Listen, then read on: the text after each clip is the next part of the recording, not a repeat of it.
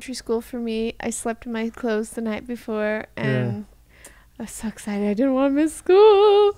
Um, but I remember um, it was so funny that you're afraid of bugs because I would pick up worms and throw them at people in Just elementary school.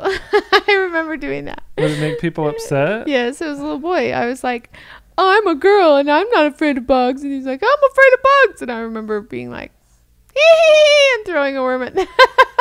Pure evil. Nothing's Um, changed.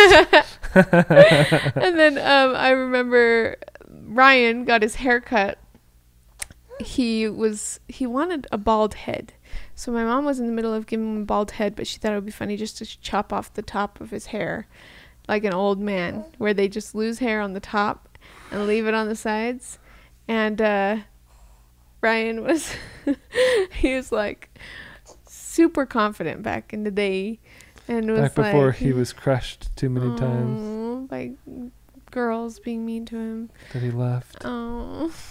Anyways, um that he wore it to school. He's like, I want to wear this to school tomorrow. And my mom and dad are like, That's not a good idea. That's not a good idea. And he's like, I want to go. I want to do it. So he did. And I snuck up behind him when he was talking to the girl he liked, and I ripped it off of his head, his No, hat. Oh, he had a hat. You're leaving a lot out of the story. I know. I'm speeding through it because Ryan takes 20 years. But it's so much better when Ryan tells it. It- So he goes to school and he's like, "Oh no." It's it's not until he uh, gets to school that he realizes this was a mistake. that he's like bald on the top and he This still has hair around the backside right here. It's like this was a mistake. So he puts his hat on and he goes into class and his teacher's like, "Take off the hat."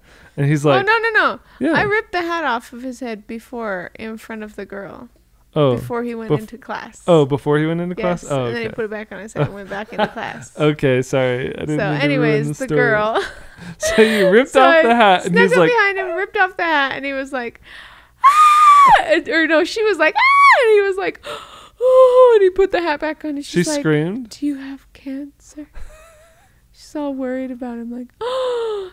Yeah, it was pretty entertaining. And then the teacher made him take his hat off, and the whole class laughed at him because well, because he, really. he's in his classroom and he's like, she's like, take off the hat, and he's like, promise not to laugh.